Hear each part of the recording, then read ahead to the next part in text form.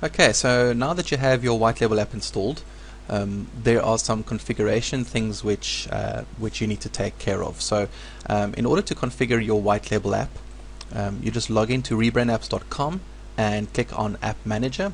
So I'm already in the App Manager, and if you look over on the left-hand side, um, if you've purchased more than one product, this is a little drop down. If not, then that just sh shows you the product that you have purchased.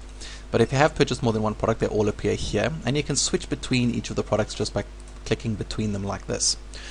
So now I'm looking at the various options for SEO Snapshot. And I'm going to switch back to Pinpoint because that's obviously where we're working.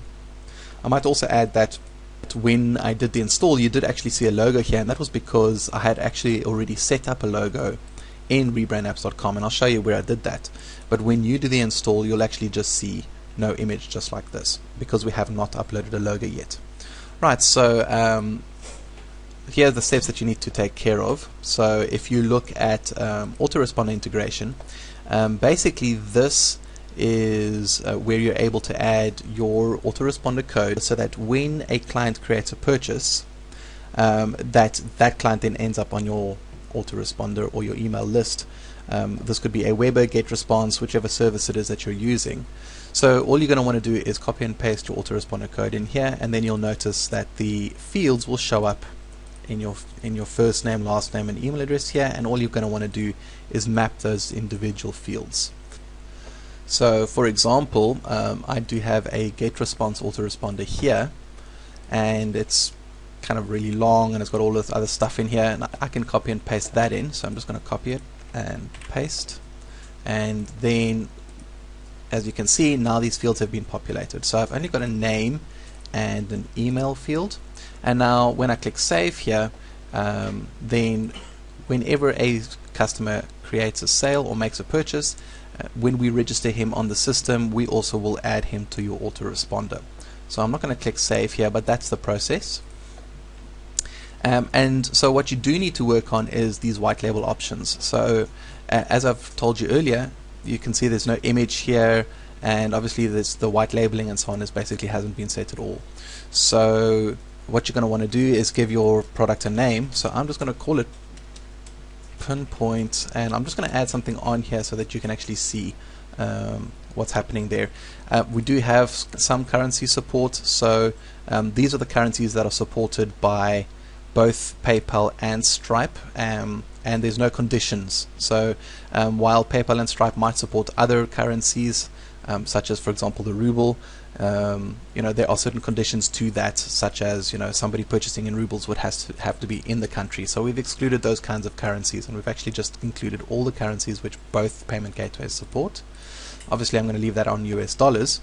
Um, right, so here is where you're going to set up your packages for example, I could set up a uh, $90 once off.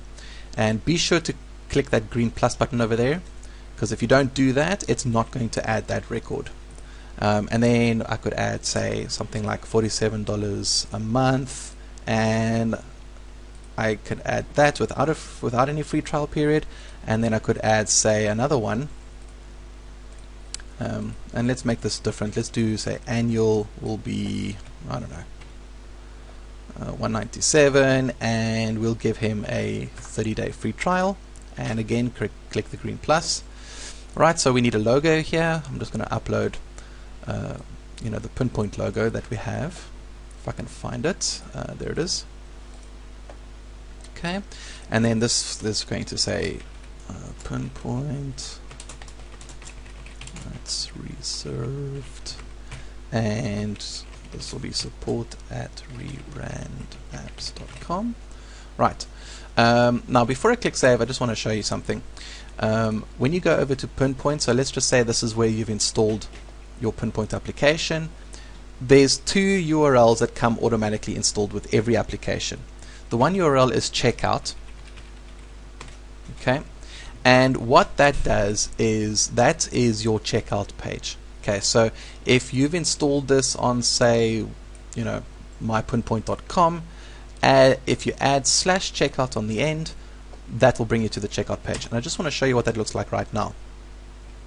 Okay, so as you can see here, it says please configure at least one payment gateway and please configure at least one plan. So obviously the checkout page requires that information in, in order to actually process payments. So if I switch back over to white label options once again, um, these are those plans that's, that it's asking for and then we'll get to the payment integrations in a second. But I'm going to click save now. Okay, and as I've saved these options, if I come back over here to the checkout page on on that install, now it's only asking for the payment gateway. All right. So uh, if I go back to the uh, to the front of the app where the login screen is, okay, and there you can see my logo is now replaced that um, no image placeholder that we had in initially. And if I log in here, right here, there is the name of the application. And if I go ahead and change that really quick so if I just change that back to pinpoint like that and click save and go back over here and refresh this you'll see that that will have changed. Okay? So all the changes that you make in your rebrandapps.com will automatically update any changes to your application. Okay. Um, so let's uh, let's move on. So we do need a payment integration. So let me just put in um, a test. Uh, okay, obviously this is just a fake PayPal. Um, if you do have a Stripe account, obviously you can connect here. Also, please do review the Stripe account um, document over here, which has to do with webhooks. It's really critical that you follow this step as well. Without this, we will not be able to track any payments that your clients make. So uh, please connect to, Stri to your Stripe account using this button and it's a pretty straightforward procedure and then also just consult this document here as it will give you additional instructions.